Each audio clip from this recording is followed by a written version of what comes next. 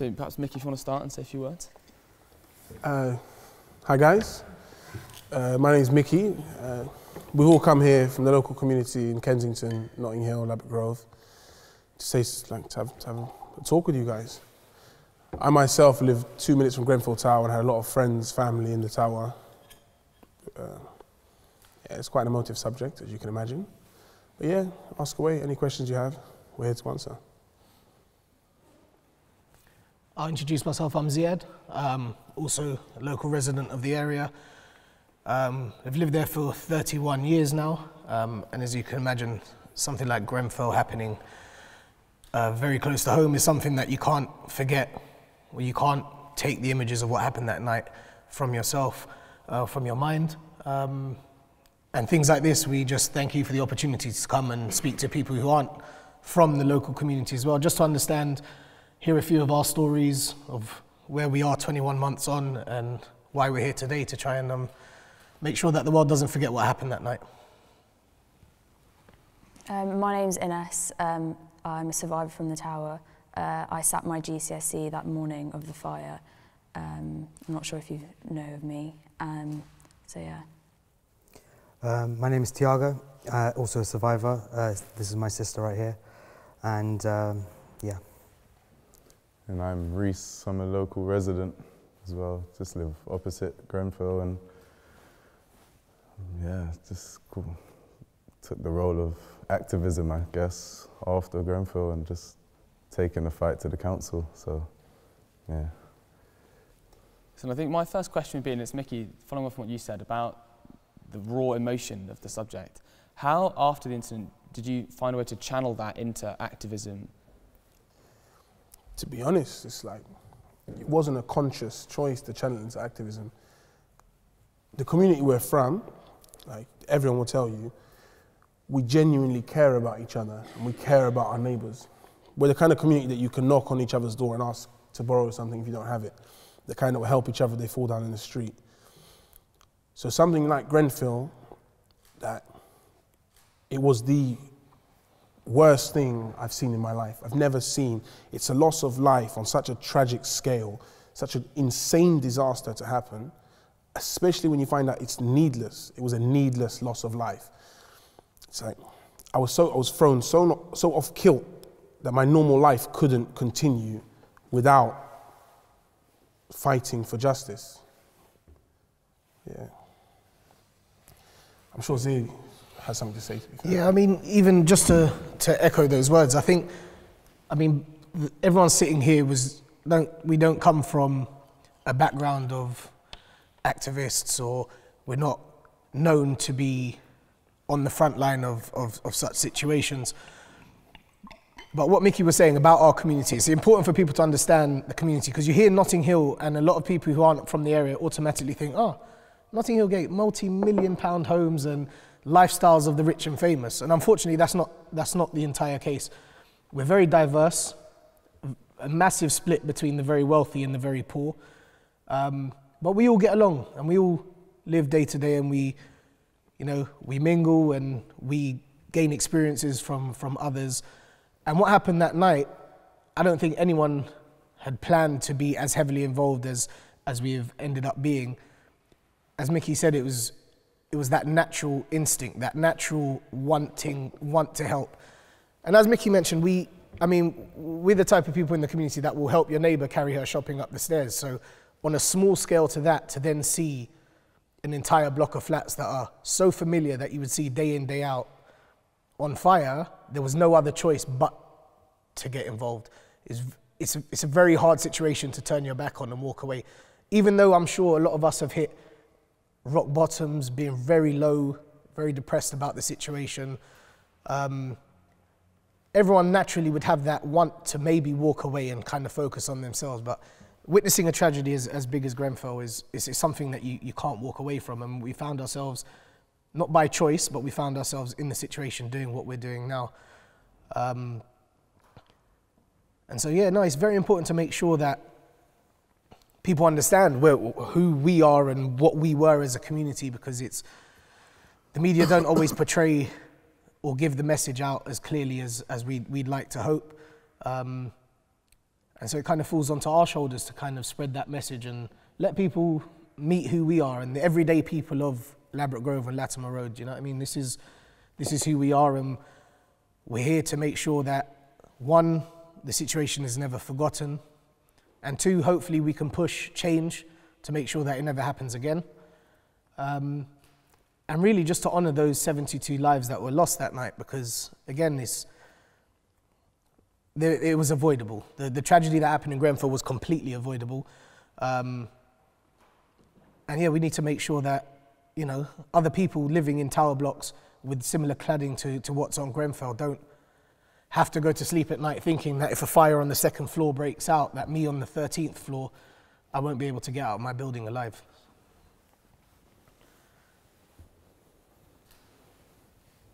And then, mm-hmm. uh, uh, unless you have anything else to add. I think for me, I'm so involved because before um, I was so ignorant to the reasons of the fire. Before my mum always used to bang on about me about the regeneration and the gentrification happening, and I was so ignorant to it. I just used to dismiss it like whatever, and then to see that happening to my friends and that and knowing that I possibly could have been involved beforehand to stop that, I think that's fueled me on a bit more now to to never ever let anything like that happen again. So I just, yeah, I think that's one of my main, main reasons. And obviously it is my community, so I can't turn my back on it like Zia says. But when I think about how I did let my community down beforehand because I didn't sign any petition, I didn't question the cladding going on. So I think I get wound up at myself and I want to make that right as well for, for everyone. And obviously. And when we talk about cladding in, in, in tower blocks, we have to understand that fires within high story buildings or tower blocks is a common event. It happens. The structure of the building and the way these buildings are made should prevent that fire spreading. Now, what should happen is there should be at least an hour between each floor if a fire is to spread. And within an hour, it's usually enough time for the fire brigade to come in, get involved, and make sure that that fire is put out. Worst case scenario, you might have damage to two or three properties. We've got another tower block across the, um, a, a, few, about a mile or so from Grenfell Tower. Concrete building. About six months before Grenfell, there was a flat fire on the 14th floor or so, and it was dealt with and it was put out. We have to understand that my point earlier when I talk about what people assume of living in an area like Notting Hill Gate or in North Kensington, our concrete blocks don't match the image that the area is trying to portray or that the council will try to portray. The eyesore of a concrete building like Grenfell Tower is, is, is deemed to put off investors or potential homeowners or property buyers to come into the area and purchase because they look like concrete jungles, they look like rough housing estates. So, really and truly, you have to think about why the cladding was put up on the Grenfell Tower, and it was the building was an eyesore, and so using the cladding to make the building look nicer and to kind of invite more investors into into the local area um, has really cost us 72 lives, 72 friends and family and neighbours, women, children, mothers, unborn children, children who were still being carried by their mum, all because a building was deemed as an eyesore. I think the most upsetting point now for me as I'm going on now is that the fact we're 21 months on from the tower, the tragedy at Grenfell Tower, and we still have over 100 blocks in London covered in the exact same cladding, and they're only tall buildings. So we're not thinking about or talking about the schools or the hospitals or the care homes that are still drenched in this cladding. We are 21 months on, and our government has still found it not necessary to ban that form of cladding. And now we have to understand Grenfell 2 is waiting to happen. Grenfell was predicted. Before the fire happened at Grenfell, the concerns of fire safety within the building was spoken about endless times messages, emails, phone calls. And it was just ignored and ignored again. And the, I think the most upsetting thing now is that 20 months, 21 months on and 72 lives gone, an entire community of people suffering with anxiety and depression since the tragedy, and we are still not putting a ban on this sort of cladding on our tall buildings. And I think that's where the question really needs to be asked. We understand how it could have been avoided. But if Grenfell 2 was to happen again now, there is no excuse because, I mean, this country, we have, we, we have the power to make sure that it, it doesn't happen. And it shouldn't fall for to people like ourselves and, and the people of Grenfell United, which is a, a group of survivors and bereaved who have come together to really be pushing this message. It should be, it should be common sense. I mean, you, you understand that the cladding is the reason why the, the building went up so quickly, but yet we're still okay to leave many other buildings still in, in the same position. And that's 100 plus buildings in London alone. We're talking 400 plus across the country. Um, and from my point of view, I couldn't imagine going to sleep in, in a building now knowing that it could take someone to leave a cigarette on a sofa or some electrical fault or just one freak accident for an entire building to go up is, is, is, is quite upsetting. Um, and it's quite disappointing from, from our government and, and from our, the council as well, that where, where we are. I mean, it's really, really frustrating. Hence why we try to get the message out there because the group, the community, the survivors, and the bereaved really should be focusing right now on getting their lives back to normal and getting back to day to day lives. But instead, they're fighting and challenging and jumping hurdles just to make sure that what happened to them doesn't happen again to anyone else. And, and that in itself is wrong because, like I said, it's, a, it, to me, it's a very easy decision to make that none of our buildings should be drenched in, in petrol in which the cladding is. I want to pick up on some points that uh, they have made here on the panel, and it's the role of activism and how a lot of us have come together in, uh, in an approach to activism. Activism is such a disgusting word to, in the use of today. Uh, it seems like the only people that, that perform activism or are active parts of, of uh, protests tend to be either students or extreme parties. Thing is, I don't think people understand that activism is actually every day to day living, assuming that you want to change something. And that change doesn't have to be something radical. Uh, and I think that's what one of the things that us as a community are trying to do on a small scale and on a large scale. So Zeyad mentioned Grenfell United. I am a committee member at Grenfell United, where I have been elected by the bereaved and survivors to to put myself in a post where I'm actually in a position to actually change legislation and, and whatnot. And the way that I treat activism isn't necessarily by going out on the street, which we do. Zeyad leads a silent march every month on the 14th, uh, on the 14th of every month. But it's also about trying to change perspectives. And this idea that just because people lived in social housing around the area, it does not necessarily mean that we are uneducated people. And the education isn't necessarily a certificate on a wall. Um, it's also about experience of life and understanding that it's not always about uh, a degree or your GCSEs or your A levels. That shouldn't matter. What matters is your passion and to make sure that you can live with yourself depending on what it is that you're fighting for. And the one thing that we are fighting for is that this never happens again, but also at the same time, allowing people to understand that if this were to happen again, we have a community behind the people who were suffered a terrible tragedy like the one they, that, that we did in Grenfell. And in the few weeks and months and years after the fire happened, these were the people that were here to, to support us. Um, and I think it's really important to, to distinguish that this idea of activism being a disgusting word needs to be changed. We need to continue fight to make sure change happens. We need to continue to understand that, you know, be it a simple letter to your MP, to your local MP, uh, small things, if you take part in a small thing, things can change for the better. And we have been trying to change a lot. Uh, we, uh, Zeyad was mentioning about the combustible cladding.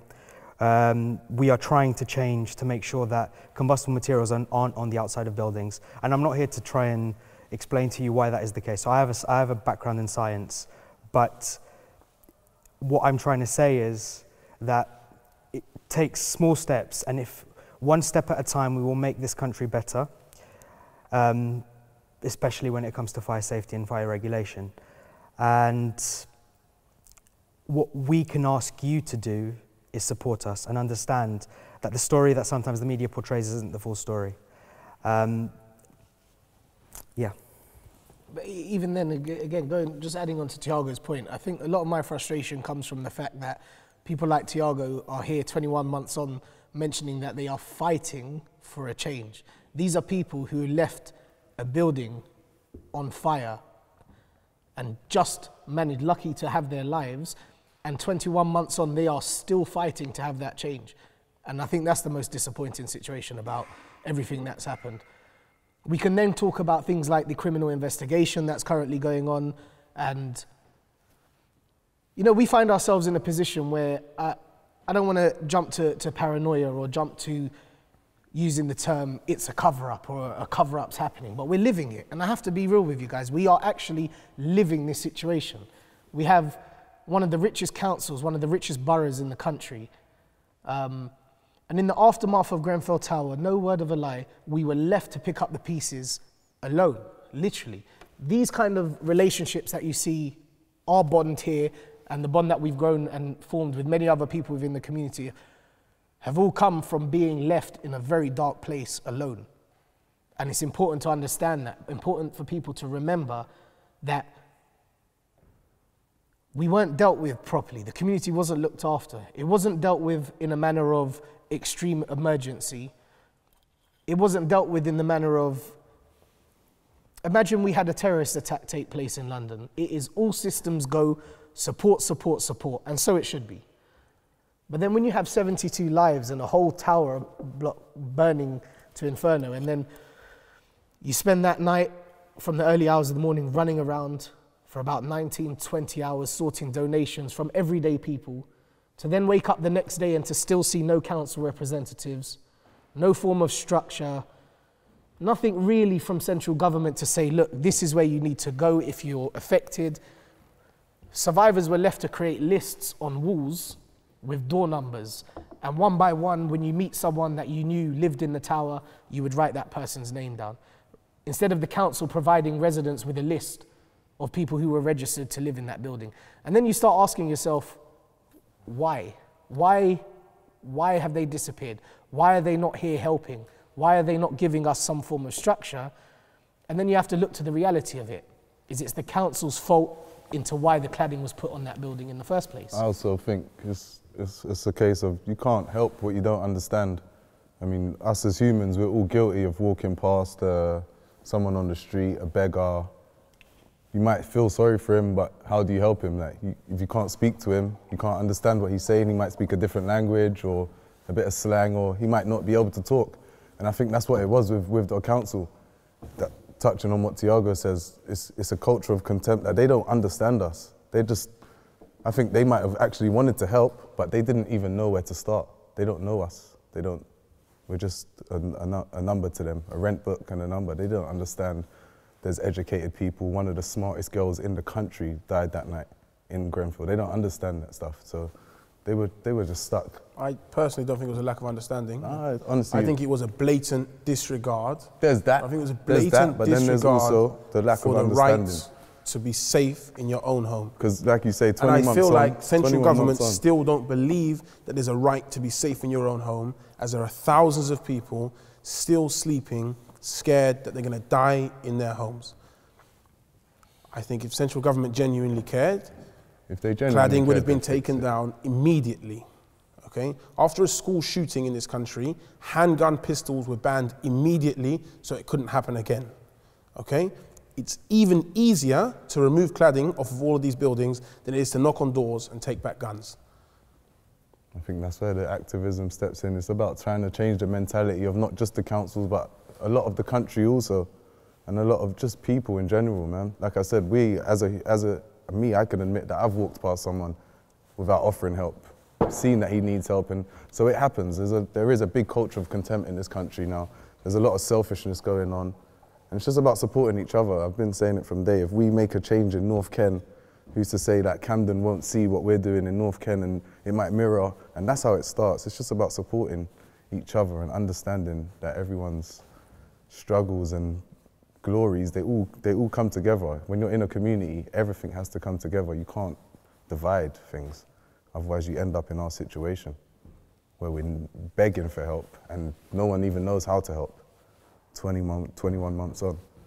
So I think. Can I ask from you guys? Do you mind if I if I ask from you guys? Um, before we we'd, we'd come today, what, what was your understanding of of that night in Grenfell, and what's your understanding of what's happening now, 21 months on? If anyone wants to,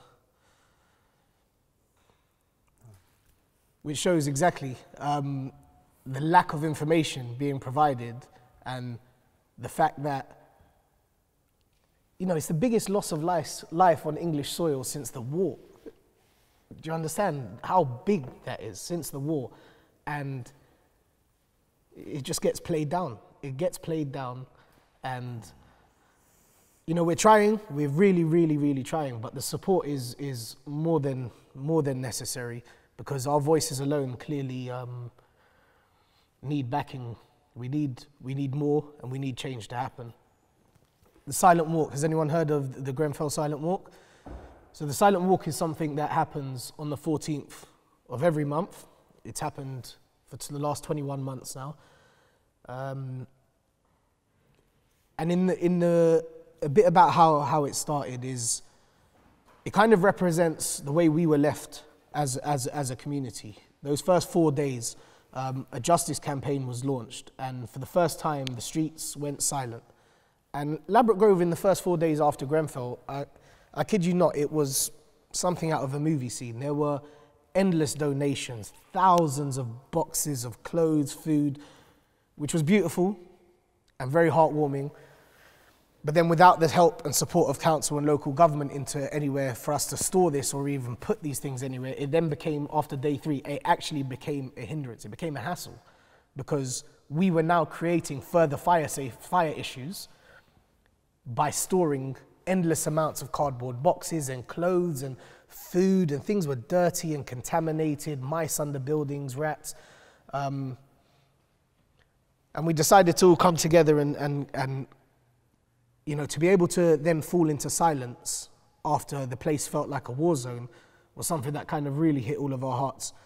And it was the first time, and for me personally, it was the first time in those four days where you could actually think.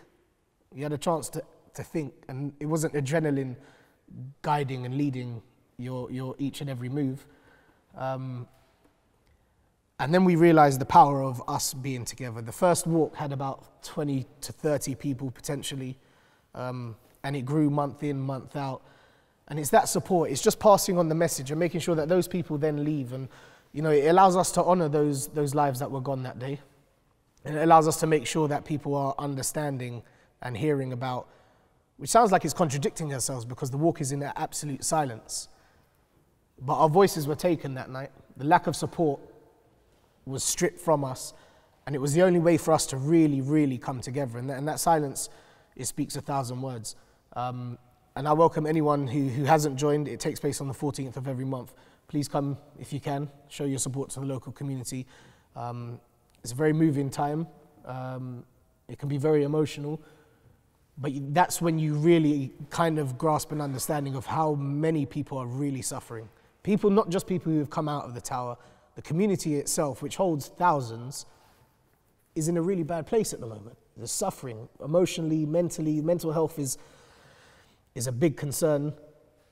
And we don't want help and handouts. I don't think we're a community who needs charity as such. We need unity and we need change. We need to be that guiding force into making sure, like I keep saying, that Grenfell never happens again. Um, and we can't do it without the support from people like yourselves, from people within our own community, Greater London. Um, people have organised silent walks to take place in Manchester, in Brighton, in Birmingham, Milton Keynes. It's just those gentle reminders, Bristol. Um, it's just important to just re remind people and, and do some research and kind of like people have to understand that the struggle is, is as bad as it was 21 months on, as it was on the 14th of June, 15th of June, 16th of June, when, when the fire actually taken place.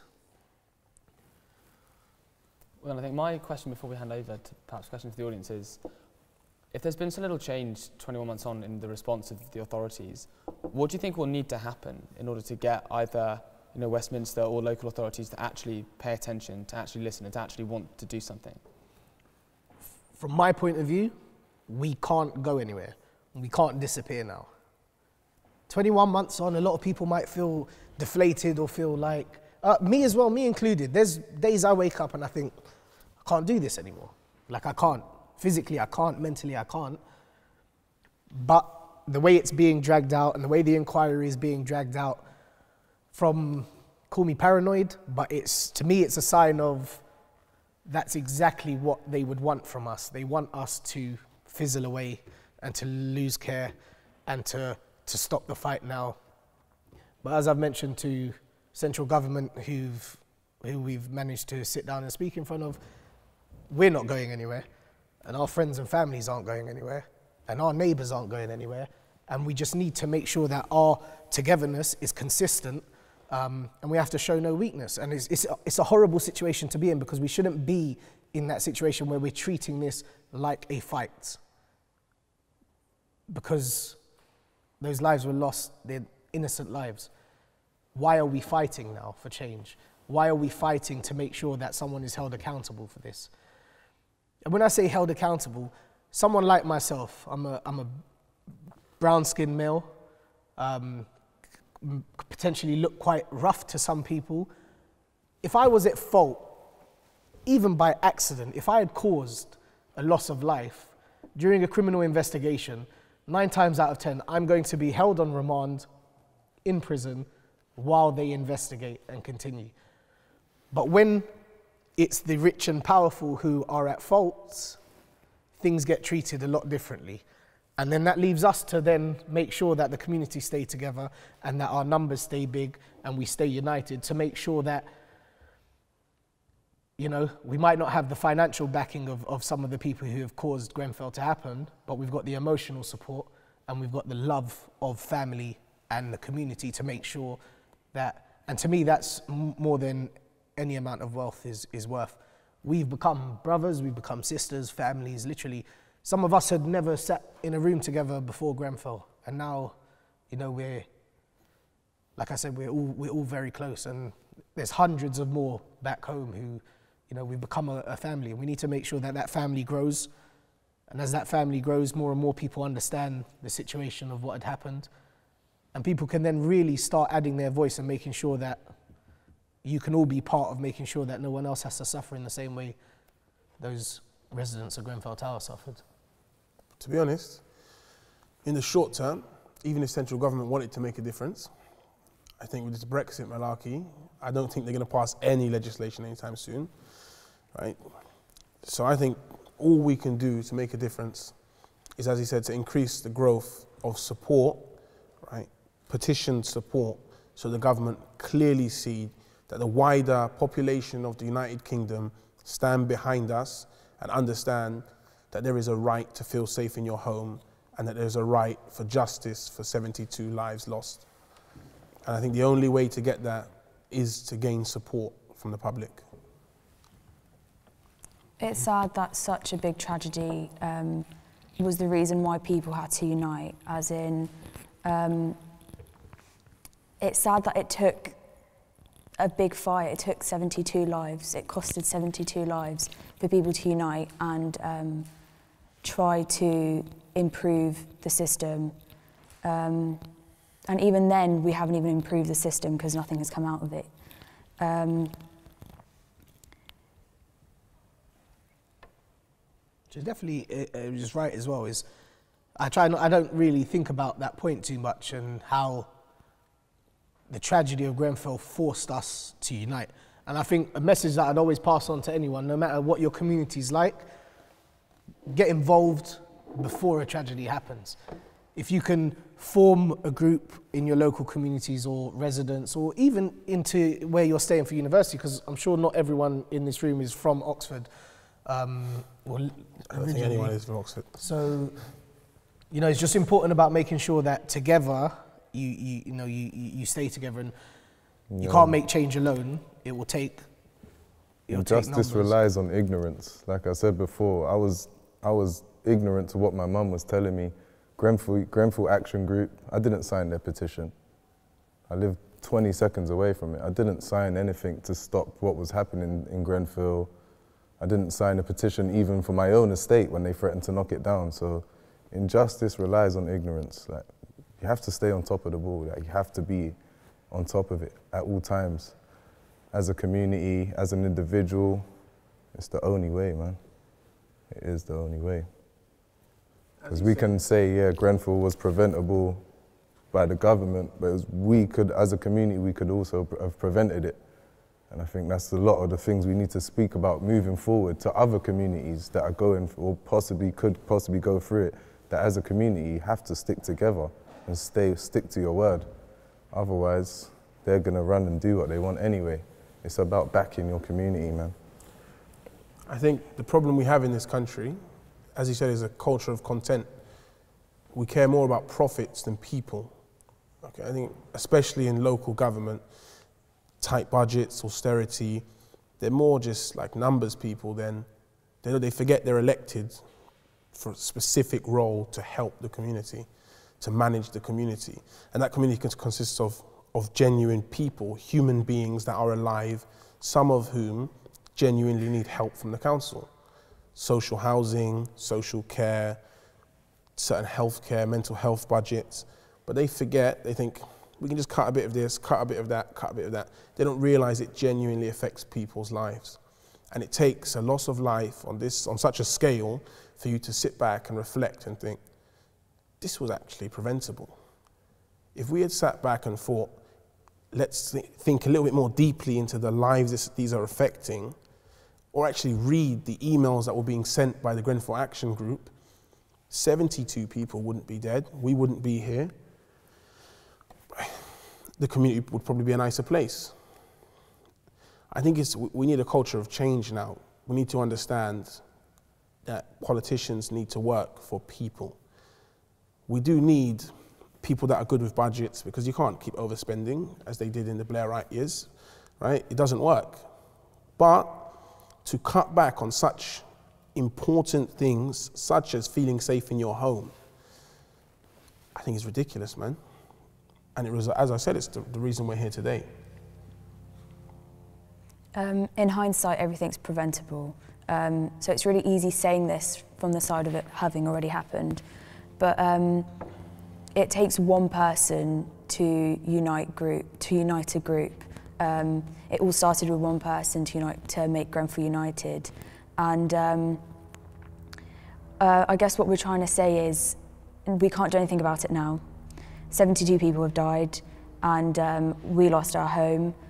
And now all we have to do is just like keep our chins up and um, try and make a change. And without people, we won't be able to make that change. Then do we have any points or questions from the audience? Um, I was just wondering, because you've talked about the kind of culture of change and the holding politicians to account, um, and it kind of seemed like that was part of the job of the media. Um, but then the media coverage of Grenfell, a lot of that came across awfully as well. And I was wondering kind of what change you think needs to happen in the media and whether it has a place in kind of like the future changes you want to make. I think when it comes to the media, uh, the first couple of weeks has, uh, were absolutely hectic. Uh, no one really knew what they were doing. Everyone was just running around the place trying to find a story because everyone wanted the latest scoop. I think as time progressed, stories started to become more focused and the right voices started to come out. Originally, anyone was just picked out of the street and said, we need a, we need a comment and we need, we need it from someone. And so some of the initial stories were quite harsh and untrue. Um, one story that particularly comes to mind is a national newspaper, which I will not name, uh, naming the person in, in, in, whose, in whose flat the fire started. Everything that they mentioned in that, in that specific report was completely untrue and completely fabricated. However, as time progressed, um, bereaved survivors in the local community started building relationships with individual, uh, with individual journalists, with individual reporters. And it was through there that a majority of the, the more positive and correct stories come, started to come out it's very difficult to change the perception of media um, because thing is that one story that I mentioned is still being used today on Twitter, even though it has been it has been taken back by that specific newspaper. But what we can do is learn to, to actually read the sources behind it. And don't take your opinion only from one particular news, news source. Take it from multiple and then, you know, Form your own opinion. Exactly. That's I think the most. That's probably the, one of the most important things, and that doesn't just have to be with Grenfell. That's with anything in life. Take media with a pinch of salt. Do your own. If you're interested, do your own research. Try and understand why it is that that certain newspaper or that certain source would say what they are saying, and then make your own opinion. And I think that's something that uh, nowadays doesn't tend to happen. We tend to be uh, guided by headlines and without reading into it properly. Um, and so, again, media is, it, un- unless you have a direct source, you know, there is a direct source to what is actually going on, always take anything you read with a pinch of salt. I'd agree. I think on the media point of things as well, I think um, it's a catch 22. I mean, uh, you're right, a lot of the media that, that came out in, in the aftermath of Grenfell was, was toxic and it, it, it, wasn't, it wasn't the true reflection of, of what had actually happened that day.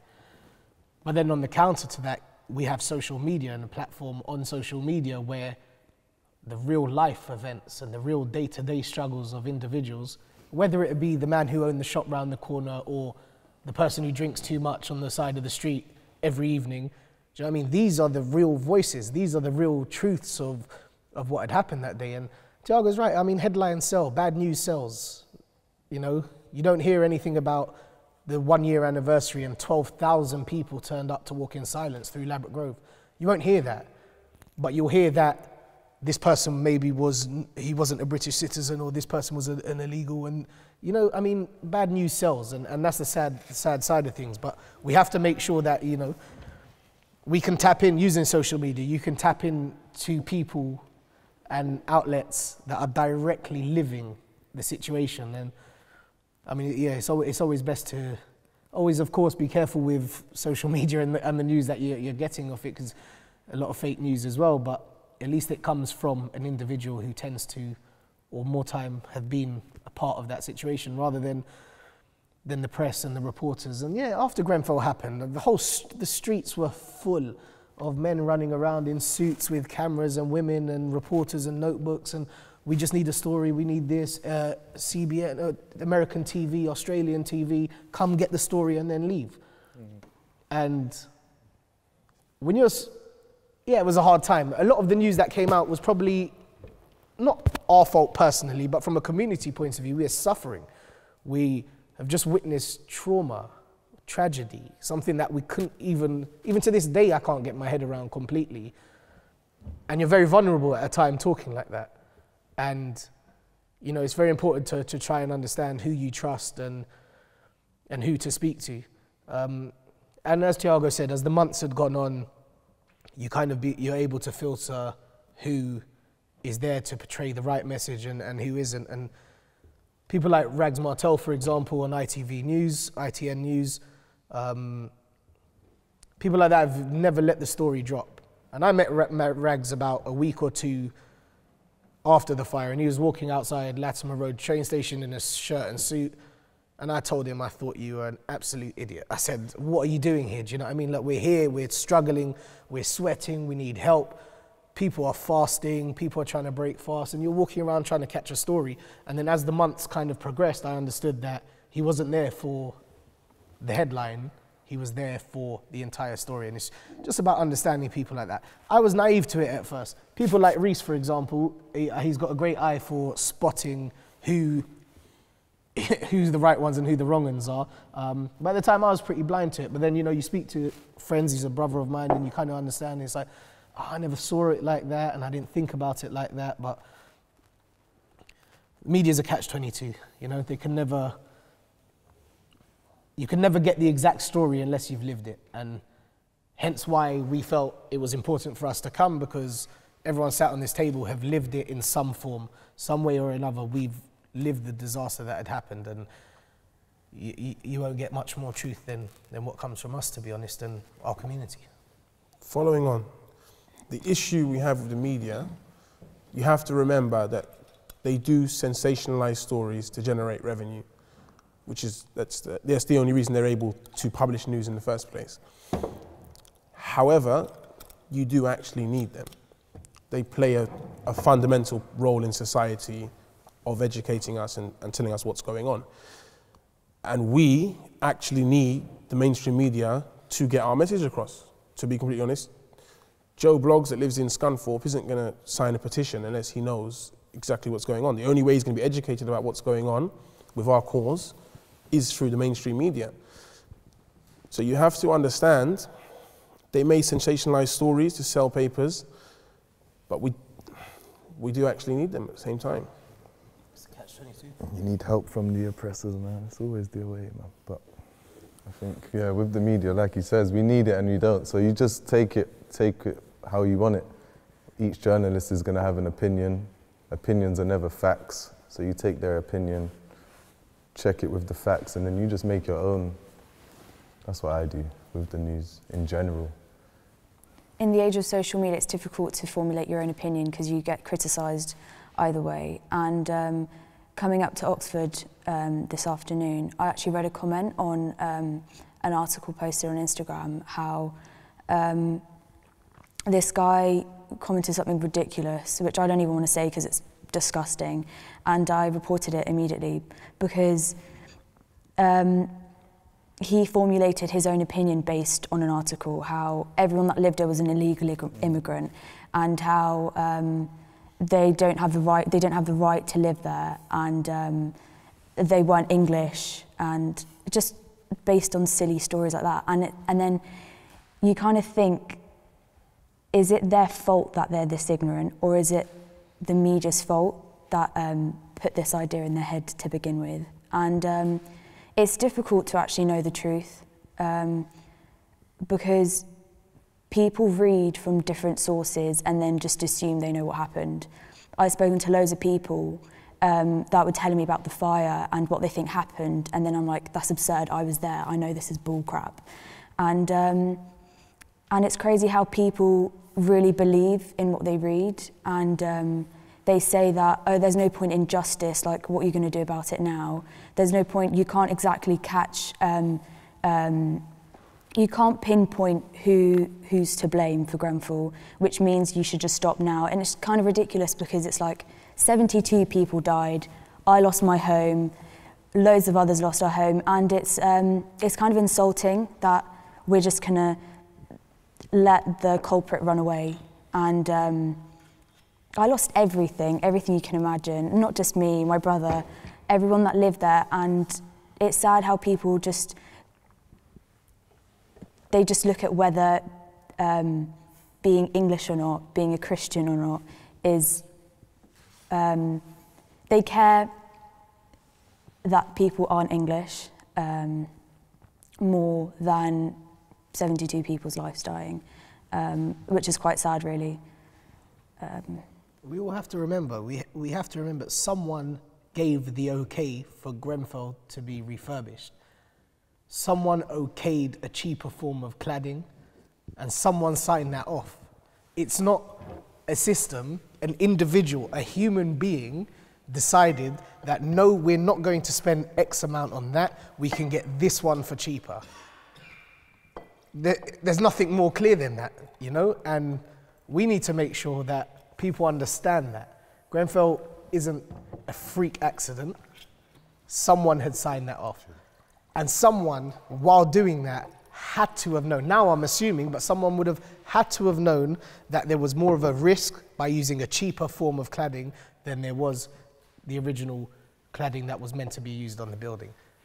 And when we seek for justice, these people have to be held responsible in the exact same way that I would be held responsible for my actions. If I did anything of violence or anything of criminal damage, I expect to be held responsible and I expect to be punished for whatever I have done. That's something that I have to live with and I have to understand.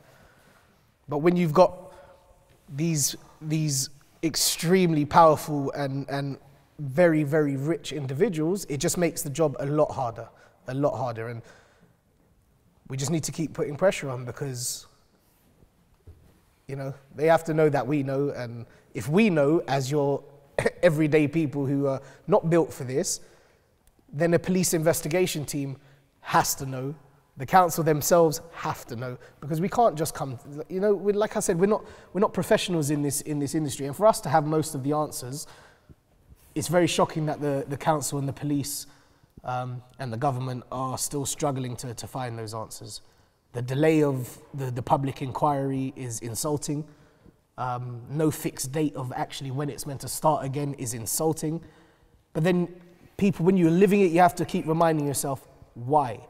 There has to be something that is trying to be covered up, or there has to be a way to try and. We are too loud and we are too united right now for this to continue. So they play the long, the long race, they play the long game, and I guess it's to see if we are able to, to stick and be committed to it. And again, my main message is we are not going anywhere. Um, and hopefully, the support from yourselves, friends, families, you can help pass that message on. Um, and we can keep reminding that gentle knock on, on the door of central government to understand that, look, we're not, we're not decreasing in numbers, we're increasing. 21 months on, and we're still increasing. The support is still coming in. Um, and that's the only way for us to really guarantee that someone's held accountable and that change comes from this situation. Adding to what Zeyad just said, I think we do genuinely feel insulted by the police. I think the fact that they're now saying they're waiting for an independent inquiry to complete their investigation, I think is insulting. In my 26 years of living, I have never known the police to say, we are not able to investigate this until somebody else does first. Okay, I'm, I'm, no, I'm not shy to run in with the police, I'll be completely honest. I've, I've been in trouble in the past, and they've never said, we're not going to investigate a crime that you committed until a third party agency has investigated. We'll then gather the facts from that agency to compile our own investigation. I've never heard of that happening. I've never heard of a drug dealer being arrested, as, as Risa said, and they said, we're not going to we're not going to investigate you yet. We're going to wait to see if we can find the source of the drugs in Afghanistan to find the heroin, who makes the heroin, to see what's going on, and then we'll decide whether to press charges on yourself. I think it's genuinely insulting. I think it's ridiculous. And I think we need the help of yourselves and everybody else and the wider population to, to Yeah, call I on think change. Just, just keep Yeah. asking yourselves why. When you leave here today and you think about what Mickey's just said, keep asking yourself why. Why, why, why? And you'll naturally be led to the conclusion of, of something terrible happened that day and someone's trying to cover themselves from owning up and taking responsibility of what had happened in, in Grenfell that day. 72 people lost their lives, and not a single search warrant has been issued, and not a single arrest has been made in 21 months. Not one electronic device has been seized.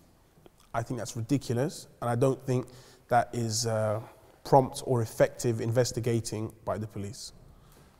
I think the fact, the fact of the matter is, the bulk of the, uh, the evidence is probably missing now.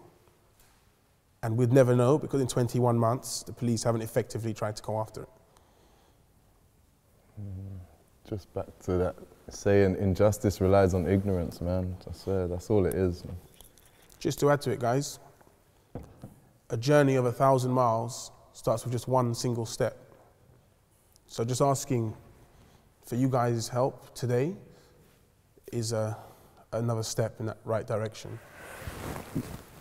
Um, I think that there's, there is one point I do want to make. Um, I'm from part of a generation that doesn't ever remember Hillsborough, the Hillsborough disaster, ever being branded as something that they did to themselves. So I assume that all of you are around my age, and so therefore a lot of you have always grown up thinking that Hillsborough was actually the police's fault. And the reason I'm bringing up Hillsborough is because part of what we do takes inspiration from their fight. We, we saw how they stuck together, and to this day, there are still multiple fans of Liverpool Football Club who still stand strong together with, with Hillsborough. And we take massive, massive inspiration from the way that they acted and they reacted. It wasn't, it wasn't violent, it was in a way that even when media was telling the whole country that they were wrong, they continued pushing, and through a lot of adversity, they managed to push through and push through and push through, and with the help of other journalists and with the help of politicians, they managed to get their voice across, to which they then got the independent panel of Hillsborough. I've had the pleasure of meeting some of the families from Hillsborough, and I've had the pleasure of meeting Bishop James Jones, who was chair of that panel. And the one thing that I've, I've always taken in my stride is, is the understanding that they, when they approached us and they said, look, we see that your fight is going to take many, many years, but don't ever give up. And that's not just something that, that is for bereaved or the survivors, it's also for the local community and for the whole country. Because without the support of the rest of the country, we wouldn't be here today. Because government only cares about what its people cares about. And without the help and support and the understanding of everyone around the country, they would never continue pushing on what we are asking them to change. And it's important that you have a bigger voice than you may, th- than you may think. And that's why it's always important that I know that politics isn't always an interesting subject for the youth. Um, but recently I've tried to get myself as involved with politics as I can. I've never really been a political person. Um, I was, you know, every so often, a couple of weeks before the election, I, I'd be interested in listening to what they had to say. Apart from that, I didn't really have much of a, I didn't feel like I had much of a say. Now, on the other hand, I feel like you need to go out and you need to, you know, it, it all goes back to activism. Activism isn't just the it's sense. a basic survival Yeah. now. As a youth, I, I'm being honest, and to get into politics that is relative to you and your life, it's like a basic survival tool now. Growing up in England, because like I said, I was so ignorant to it that I nearly lost my house. My house was nearly knocked down, and then Grenfell happened, and we got a letter saying we're not knocking your house down because of Grenfell. So if Grenfell never happened, I'd be out of a house. So just stick to the politics that is relative to you and try and help yourself and community and empower yourself that way. And don't wait for anything and someone else to start a, a group or for you to for your rent to go up or your council tax to go up. Don't wait for your whole road to complain. You start it and and it just and try and yeah have Yeah, the ripple true. Even- effect. Even, taking Grenfell away from the situation, for you guys, anything that you feel passionate about or you really believe in, even if everyone thinks you're absolutely bonkers for believing that way, keep pushing, keep going. If you really feel something within telling you that this is right and this needs to happen, keep plugging away, keep going, keep pushing, keep pushing, and your voice will be heard. I think that's another part of our cause as a community. Majority of people I know that are my peer group, I think I'm the only person I know that is like interested in politics. The only person. Probably the only person in my family that even knows who our local MP is. And I think that state of ignorance that my community was in is now over. I think we are slowly waking up. And part of our cause is to try and wake up the wider community and the whole country. Like, I think the fact that we don't get 100% turnouts on elections, on general elections, is ridiculous. I think it shows that majority of people in the country are so disenfranchised, they feel like their vote doesn't matter, that we're just allowing the politics of now to continue and perpetuate forever. And this is not a journey for the swift, it's just for those who can endure it. And we're here to see it out. Yeah. Anything? I think if we're calling it to an end, could we ask that And you guys? Thank you to you guys as well for taking Friday afternoon, for taking your time to come and, and listen to us speak. It's, it's really appreciated. So thank you guys. No, on behalf of everyone, I want to say thank you guys sincerely for coming. I really, really do appreciate it. And could we end it?